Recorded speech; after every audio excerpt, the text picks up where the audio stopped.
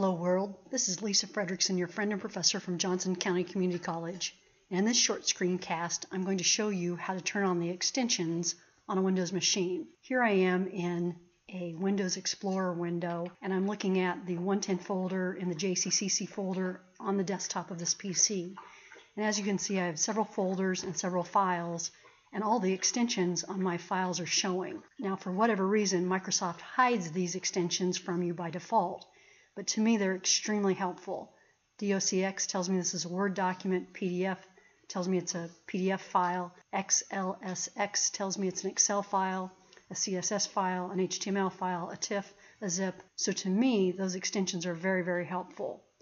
If you're on a Windows 10 machine, you can click the View tab and check the File Name Extensions checkbox. By default, it's turned off, but notice that when it's turned off, I see no extensions on my files. When I click it, I see the DOCX, the PDF, the CSS, the HTML extensions. Now that information is supposedly over here in the type column as well, but I definitely prefer seeing the actual extension on the file. Otherwise, you're tempted to put the extension on twice. So once again, to show the extensions, you're going to want to click the View tab and then make sure the file name extensions checkbox is checked. Now if you're on an earlier version of Windows, it's not quite this easy. So let's go through that. It's File, change folder and search options, then click the View tab, and then make sure you have cleared the checkbox for hide extensions for known file types. For whatever unknown reason, Microsoft hides the extensions from us by default and prevents us from seeing this valuable information. So the first thing I do when I sit down to the computer is unhide my extensions.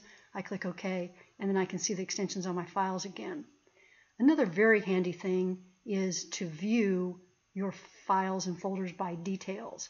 That gives you these four columns, name, date modified, type, and size, that you can sort on. So there I'm in an ascending sort, now I'm in a descending sort by name, or by date modified, or by type. That puts all the, the files of the same type together. So my Word documents are together, my CSS files, my zip files, or by size. If I'm trying to clean up my computer, I love sorting by size so I can figure out what are my big files and which ones can I potentially delete. So there you have it. View, check file name extensions, and also view by details. To me, those are two essential Windows skills that really help you manage your computer. For more great tips like this, consider taking our CPCA 138 class and you'll learn more about file and folder management in Windows. Thank you.